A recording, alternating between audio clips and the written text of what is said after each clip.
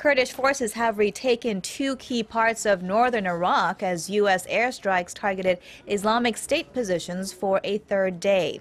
The radical Sunni fighters had taken the town of Gwair and Makhmur district, a region north of Kirkuk, in their push toward Erbil, the capital of the Kurdish region. Meanwhile, some 20,000 Yazidi refugees trapped on Mount Sinjar have been rescued and moved to the Iraqi-Syrian border. The ethnic Kurds had been fleeing IS militants who threaten them with death if they do not convert to Islam.